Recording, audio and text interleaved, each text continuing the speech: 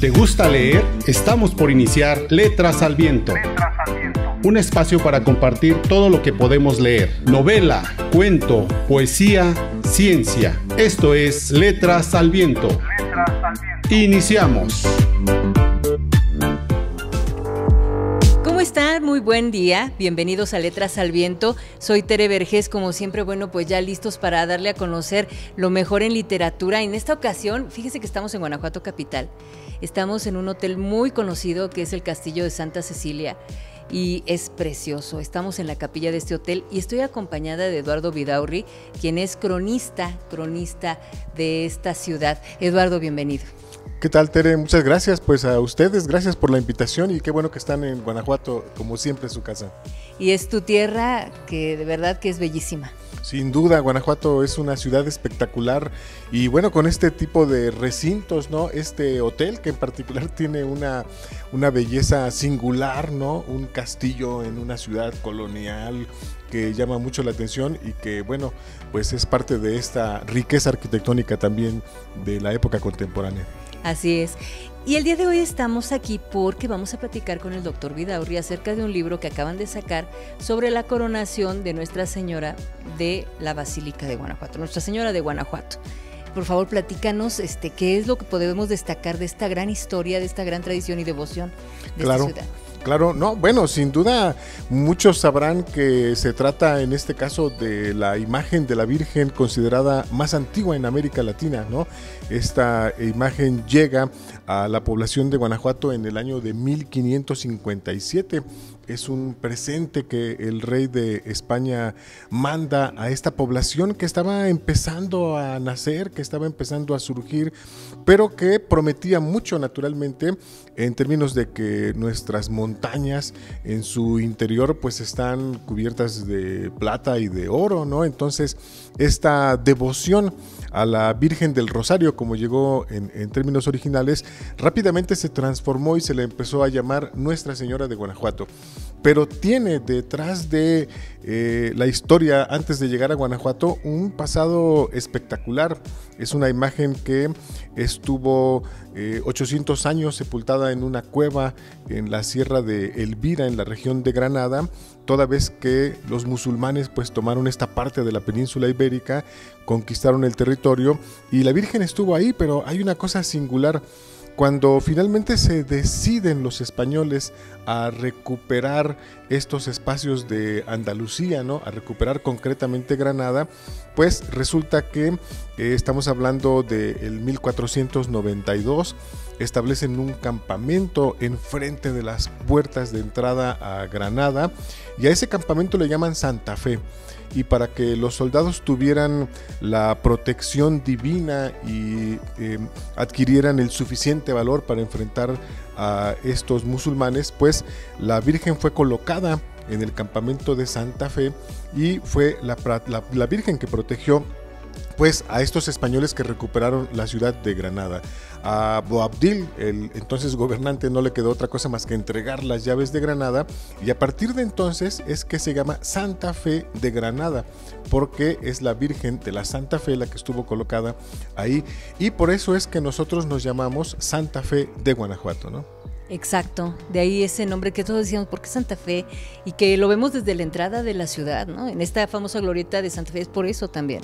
Entonces, en este libro podemos encontrar también parte de esta, de esta historia anterior de la Virgen de, de la Virgen de Guanajuato, de Guanajuato, Nuestra Señora de Guanajuato. Sí, naturalmente hacemos una recapitulación de la llegada de la imagen de Nuestra Señora de Guanajuato, de algunos de los hitos más importantes que ha experimentado la sociedad en su devoción a esta venerada imagen y luego retomamos el tema de la coronación que es importantísimo porque resulta que no se había hecho de forma oficial, es decir, no tenía una coronación pontificia hasta que se decide en 1877 comenzar las gestiones para ello y finalmente pues en 1907-1908 es cuando se logra esta eh, solemne coronación de la imagen de la Virgen de Guanajuato y a partir de entonces pues es la verdadera patrona de esta ciudad, aunque en la práctica lo era desde el 9 de agosto de 1557 que llegó.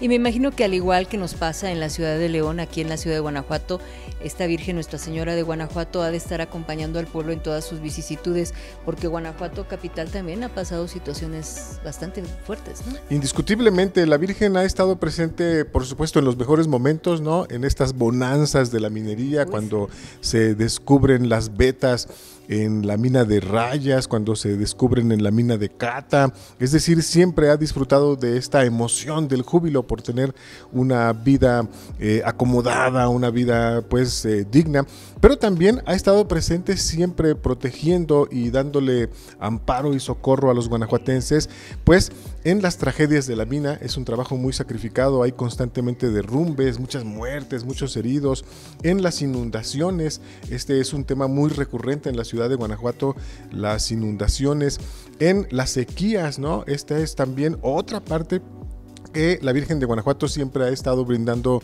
el amparo a la sociedad guanajuatense, eh, cubriéndolos con su manto, como reza bien la divisa ¿no? que, la identifica, Virgen de Guanajuato, cúbrenos con tu manto. Entonces siempre ha estado ahí en estas circunstancias y los guanajuatenses agradecidos le rinden tributo en distintas ocasiones a lo largo del año. Entonces el libro también recoge parte de estos testimonios que nos explican cómo es que se venera a la Virgen de Guanajuato en distintos momentos en el año. Y no solamente en, eh, en la fecha que se conmemora su coronación, que fue el 31 de mayo, ¿no? Es decir, ya sabemos, mayo es el mes de María, el mes de la Virgen. Todo el mes de mayo los gremios de Guanajuato peregrinan eh, hasta su altar para agradecerle por esta protección, para agradecerle por el trabajo, para agradecerle por la salud, para agradecerle pues todas las acciones que hace ella en favor de la sociedad guanajuatense, ¿no? Pero no es la única. Hay, por ejemplo, en el mes de noviembre, que celebramos el mes del patrocinio de la Virgen, pues aquí tenemos una celebración, como en muchas partes del estado, les llaman eh, los ponches en otros lados, ¿no? Aquí les llamamos las iluminaciones, porque se acostumbra que la gente ilumine el frente de sus casas, ilumine las plazas, y la Virgen ahora es la que va a los barrios de la ciudad a eh, compensar con su visita y su protección, pues a estos distintos rincones de nuestro Guanajuato, ¿no? Y naturalmente también se celebra en agosto la llegada de la venerada imagen el 9 de agosto de 1557. Hay un, capítulo muy interesante que escribe el doctor Jorge Cervantes, ¿no? que tiene que ver con los perafanes. Eh, resulta que el personaje que va a traer la imagen a Guanajuato es Perafán de Rivera. Perafán en el trayecto se va a perder improvisa un campamento de pronto en las montañas cercanas a Guanajuato, saca eh, a la imagen de la Virgen de la caja en donde la venía transportando, la coloca sobre un tambor, le prende dos velas y le implora una señal para poder llegar a Guanajuato porque no sabían en dónde estaba. Entonces repentinamente aparecen unas palomas que son interpretadas como esa señal que está enviando la Virgen para que puedan llegar a Guanajuato. Y así ocurrió estos personajes siguieron el vuelo de las palomas que los condujo hasta este Real de Santa Fe, en donde dejan en el, altar del Hospital de los Indios Mexicanos por primera vez a esta imagen de la Virgen de Guanajuato. Y bueno, eso se ha reconstruido, poca gente lo sabe, eso se ha reconstruido para el imaginario popular en una de las artesanías más bellas que tenemos en Guanajuato, seguramente lo has escuchado, son los famosos aretes de pajarito. Así es. Esta filigrana tan fina, tan bella, eh, hecha por los orfebres guanajuatenses, pues no son en realidad pajaritos, son las palomitas que eh, se aparecieron como señal de la Virgen para poder llegar a Guanajuato. Entonces, ese capítulo que se llama Los Perafanes, ellos hacen cada año la reconstrucción de la ruta desde el extravío de Perafán de Rivera hasta llegar al templo parroquial y se vienen caminando por las montañas que circundan Guanajuato, tienen incluso unas, unas placas de cantera en donde van indicando en qué puntos fue eh, parándose la gente que conducía a la Virgen para descansar y es tradición que año con año se haga una reconstrucción de esta caminata.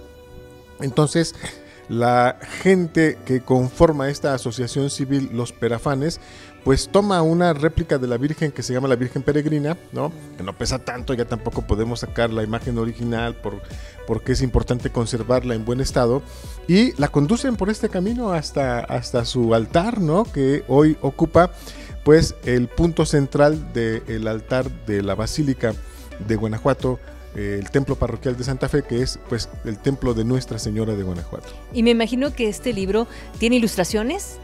Por supuesto, eh, se ha hecho un, importante esfuerzo por contar con ilustraciones que nos vayan guiando, que nos vayan mostrando eh, todas estas etapas que te estoy comentando. Hay, por ejemplo, una pintura eh, creada por don Manuel Leal, este magnífico pintor y cronista de nuestra ciudad también, en donde reconstruye el momento justo en donde Perafán de Rivera está implorando esta señal a la Virgen para poder llegar a Guanajuato. Hay reproducciones de las muchas que existen de la imagen de la Virgen de Guanajuato en distintas épocas, entonces también podemos apreciar cómo es que se le muestra con diferentes vestimentas, ¿no? En, en distintas circunstancias. Es muy interesante, por supuesto que tiene mucha ilustración y es un libro que eh, se puede consultar fácilmente porque está al acceso de todos, es, digital, ¿no?